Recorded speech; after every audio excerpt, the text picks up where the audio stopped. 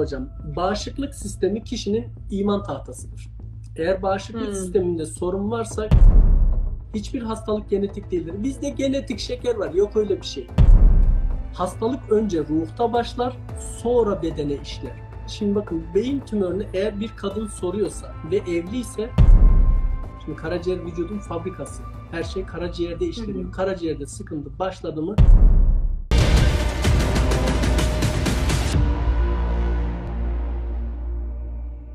Hocam otoimmün hastalıkları soruyorlar. Bağışıklık sistemi hastalıkları. Benim Ee, eğitimde söylediğim şöyle bir cümle var hocam. Bağışıklık sistemi kişinin iman tahtasıdır. Eğer bağışıklık Hmm. sisteminde sorun varsa kişinin bu şeyi dini değerleri zayıflıyor demektir. Kişi mücadelesini, inancını kaybetmeye başlıyor demektir. O yüzden Bir az önce bir izleyicimiz yazdı. Ona demişsiniz ki bir arkadaşı size kalbinin sıkışmasından bahsetmiş. Siz demişsiniz ki kibri bırak. evet. Demek ki kibirden yani onun karşılığı da kibir o zaman kalp sıkışmasının. Yani farkında olmadan e, şeytanın da en sevdiğidir ya hani kibir. E, tabii ki Ya iş hocam. hayatında ya insan hayatında kibir demek ki barındırıyor. Tabii ki, tabii ki. Burada şöyle bir şey var hocam. Hiç kimse o hastalığa diğeriyle aynı sebepten dolayı yakalanmıyor.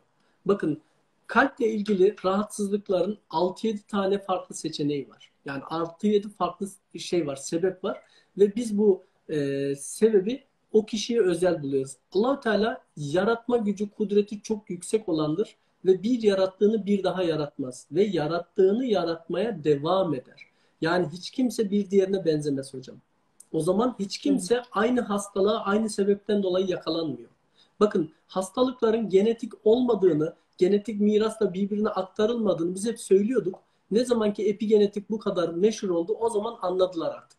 Hiçbir hastalık genetik değildir. Bizde genetik şeker var. Yok öyle bir şey.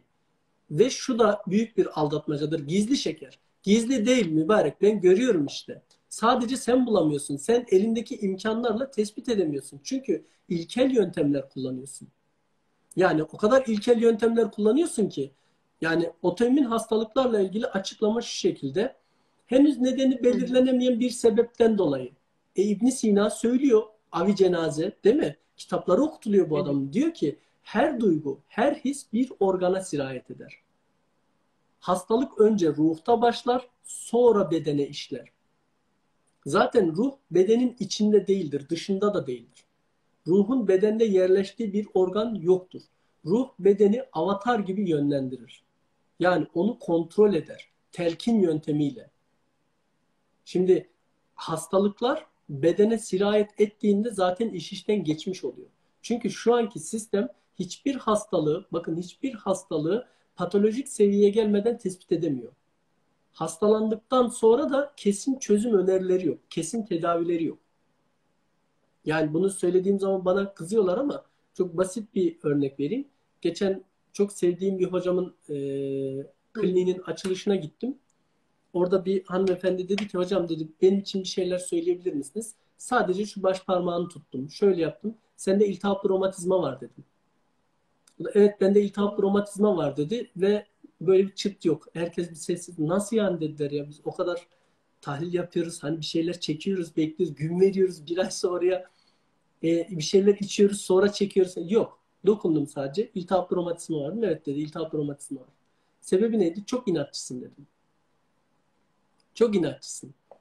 Yani bu o kadar kolay ki aslında. Yani bu sadece bir ilim aslında. Benlik bir şey de değil. Ben bunu anlatıyorum, öğretiyorum bir de. Hani bendeki Evet. şey şu şeyden ziyade böyle bir bir şeyleri anlatıp hadi görüşürüz demekten ziyade öğretmeye Değil, işte çalışıyorum. o farkı ben de anlamasını istiyorum sevgili dostlarımızın. Yani nasıl bütüncül bir e, ilim ortaya koyduğunuzu anlatmaya çalışıyorum. Hani hem fiz- fizyonomi var, sadece eller değil.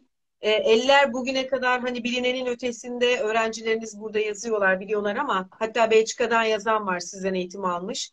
Yüzle birlikte e, kolajlayarak bunu yorumlamanız e, çok farklı, çok zengin ve çok derin bir e, anlayış koyuyorsunuz, disiplin koyuyorsunuz ortaya.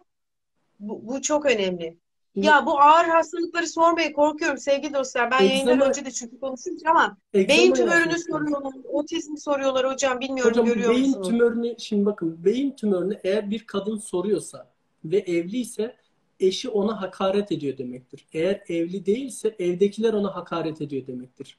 Yani onu e, aşağılık kompleksine sokuyorlar. Onu ezikliyorlar. Yani ona mesela e, çok özür diliyorum sen malsın, gerizekalısın, yapamıyorsun, bilmiyorsun gibi gibi aşağılayıcı şeyler söylerlerse kadında beyin tümörü oluşur. Ya. Ya cilt hastalıklarıyla ilgili şöyle bir şey söyleyeyim. Cilt hastalıklarının temelde yatan nedeni bırakamamaktır, vazgeçememektir. Özellikle kişi dominant, baskın bir karakterse. Şimdi bu kilo almada da böyledir. Mesela bazı dominant, baskın karakterler kilo veremez. Nedeni vermek, Hı. kaybetmek ona göre değildir. O vermek istemiyor, kaybetmek istemiyor. İnceleyeceğim demesi lazım, fit olacağım demesi lazım. Ben şöyle gözüme çarpanları söyleyeyim. Skolyoz E, bunlar buzdağının sadece görünen yüzü. Mesela skolyozu soruyorlar, otizmi Skolyoz- soruyorlar. Otizme girmeyeyim soruyorlar. hocam. Şimdi otizme girmeyeyim. Ee, ben şöyle bir şey söyleyeyim. O Mesela çocuğu- psikolojik rahatsızlık veren bipolar, takıntılar. bipolara hiç şu genel girmeyelim hocam. Bipolara hiç girmeyelim. Tamam. Bipolar çok ciddi bir sıkıntı. Ben yayından sonra anlatırım size. Ee, Tamam. o çocuk bir şeylerin etkisi altında demektir. Erkekse de kızsa da. Özellikle erkekse çok ciddi sıkıntı demektir. Şimdi skolyozla ilgili şöyle bir şey söyleyebilirim. Hı hı. Ee, bazı insanlar hayata erken başlıyor. Sorumlulukları erken yükleniyor. Şimdi sorumlulukları erken yüklendiği zaman da psikolojik olarak o yükü omuzlarında hissediyor. O da omurilikte eğrilik başlatıyor. Boyun düzleşmesi, boyun fıtığı ve eee, nasıl diyeyim romatizmal rahatsızlıklar inatlaşmadan olur. İnattan olur. Ama omuriliğin eğilmesi ya da o acbuz cenap dediğimiz kemiğin yerini kaybetmesi ayaklarda dengesizlik başlatır. Ben bakıyorum mesela diyorum ki senin sağ ayağın yarım santim ya da bir santim kısa diyorum. Kişi onu dengeleyebilmek için sürekli böyle yapıyor ya da böyle yapıyor mesela. Onu dengede tutmaya çalışıyor. Çünkü şey dengesiz, omurilik dengesiz. Sonra burnundan görüyoruz zaten. O da sorumluluk bilincinden. Yani aşırı sorumlulukları var. Ee, zaten diğer organlarda gidiyor yavaş yavaş. Mesela karaciğer gidiyor. Şimdi karaciğer vücudun fabrikası. Her şey karaciğerde işleniyor. Hı. Karaciğerde sıkıntı başladı mı yanlı gülüm keten elva. Dalak, böbrek oradan devam eder. İki şey çok önemli. Birincisi mide ve bağırsaklar, ikincisi karaciğer. Çünkü vücudu bir araba gibi düşünürseniz mide aslında Evet. yakıt deposudur. Bağırsaklar da enjektörlerdir. Şimdi yakıt deposunda pislik varsa ve enjektörler tıkalıysa arabanız en lüks, en kral arabada olsa içinde oturur beklersiniz. Gitmez, yürümez. Bu da böyle bir şeydir. Zaten mide bütün duyguların çöplüğüdür. Yani bütün duygular, hisler, her şeyin çöplüğü midedir. Siz e, her şeyinizi midede yaşarsınız. Hazmedemiyorsanız, kabullenemiyorsanız, kabul edemiyorsanız mide gider. Mide aynı zamanda anne demektir. Bir kadının safra kesesinde ya da midesinde sorun varsa doğrudan anne ile ilgilidir.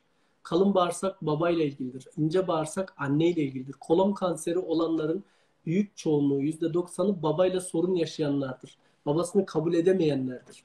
Yani oradaki kabul etme aslında sizin sağlığınız için. İnsanın e, müdahale edemediği şeyler varsa kırılma noktaları sevgili dostlar anladığım kadarıyla bunu yaşayanlar var çünkü anne ve babasından. E, anne ve babasının terk ettiği kişiler var, dostlarımız var anladığım kadarıyla. Bunun için yapılabilecek şeyler var demek ki. Var. E, o çok önemli. Yani Şöyle, gittiyse gitti baba siz de döndüremediniz ama bunun yansıma, sirayet etmemesi için yapılabilecekler var, değil mi? E, Yani önemli olan ki. onu keşfetmek, ikinci hakkı kazanabilmek. E tabii ki şimdi zaten e, eğer hayatı benim gibi böyle bu işlerle uğraşan birisiyle kesişmişse ona ikinci hak yolu açılmış demektir. Yani e, dua ediyorsanız mesela bilin ki allah Teala duanıza icabet edecek. Yoksa icabet etmeyeceği duayı ettirmez bile. Şimdi siz benimle ya da benim gibi bu işlerle uğraşan birisiyle karşılaşmışsanız yolunuz kesişmişse orada bir nasibiniz var demektir. Yani alttan ben görüyorum sürekli Evet. e, şeyler geliyor, mesajlar geliyor. Bakın ben kaba gideyim, öyle çok detaya inmeyeyim. Şimdi boğaz Görüyorsunuz değil mi? hastalıkları, Hocam evet. seni çok soruyorlar. Evet. Boğaz hastalıkları arkadaşlar tiroidler olabilir, guatr olabilir, başka bir şey olabilir. Boğaz hastalıkları özellikle boğazın çok şişmesi kişinin sesini çıkaramadığı, söylemek istediklerini söyleyemediği ya da kendini ifade edemediği anlamına gelir. Solunum yolları, akciğer yolları gibi rahatsızlıklar da kişinin engellendiği, kısıtlandığı anlamına gelir. Mesela eşi onu engelliyordur, babası onu engelliyordur veya bu kadın olsun erkek olsun fark etmez. Annesi babası engelliyordur. Ben şöyle söyleyeyim. Kişi oval yüzlüdür. Eşi ya da annesi ya da babası dikdörtgen yüzlüdür. O sesini çıkaramaz. Kendini engellenmiş hisseder. Akciğerler gider. Zaten akciğer kanseriyle ilgili şöyle bir şey vardır toplum arasında. Akciğer kanseri çabuk götürür diye. O şu yüzden şimdi akciğerlerin üst solunum yolu bölgesi karina bölgesi var. Şimdi orada virüs karina bölgesine girdiği zaman akciğere indiğini tespit ettiklerinde artık üçüncü evreye ulaşmış oluyor. Oradan sonra da döndüremiyorlar. Yani tespit edemedikleri için öyle söylüyorlar. Halbuki akciğerleri biz buradan görüyoruz. Gördüğüm zaman söylüyorum şöyle bir rahatsızlığınız var. Doğrudan siz şusunuz busunuz demiyorum da şöyle bir rahatsızlığınız Hı. var. Çoğu zaman şunu söylüyorlar. Hocam ben tahlil yaptırdım. Evet gerçekten bunları söylediler. Ya da bazıları itiraz ediyor. Hocam bende öyle bir şey yok diyor. Bir hafta sonra mesaj atıyor. Evet hocam diyor ben gittim. Gerçekten de öyleymiş. Ben diyorum ki mesela şuna baksınlar. Bazılarına diyorum ki mesela trigliseritin yüksek diyorum. Bazılarına insülin direncim var diyorum. Şöyleyken ölç diyorum ya da şunu yap diyorum. Çünkü doğrudan onu görüyorum. Mesela şeker alınganlıkla ilgili. Şeker hastası olan insanların büyük çoğunluğu insan en çok en sevdiğine alınır. E, eşiyle ilgilidir.